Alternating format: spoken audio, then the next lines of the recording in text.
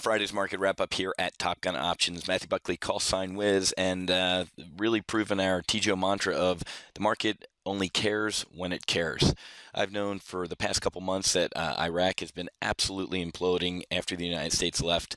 Uh, pretty funny. I was just watching in uh, an old clip of, of uh, was it 2010 or, a couple years ago of Vice President Joe Biden saying uh, Iraq was uh, President Obama's greatest achievement, and now Iraq is getting ready to fall um, as the United States mulls its response. Well, Baghdad is about to fall here, folks. So the over 4,000 U.S. troops that were killed in Iraq and th- that was for what?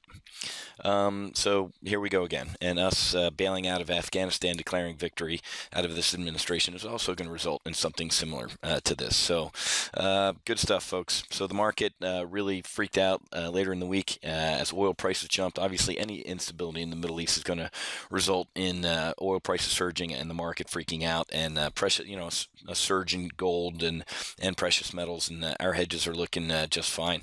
Um, really good moves out of our Brazil trades as well with the uh, Brazil uh, taking the uh, uh the opening uh, World Cup game there with a debatable call uh, out of the Japanese ref. Um, and then obviously on the macroeconomic data front, we had the University of Michigan Consumer Sentiment Report implode 81.2, and that's the biggest miss in 18 months. Um, so really not, you know, we're, we're seeing a little bit of a relief rally out of the market as we uh, as we hit this uh, Friday and head into the weekend. Um, but really, really low volume, and uh, again, probably shouldn't be up here at these highs. When you take a look at, let's take a look at the. Uh, at the VIX real quick. Um, uh, the VIX is uh, hovering around 12. remember, last week it went below uh, 11, you know, 10, 1070 or whatever it was. Crazy.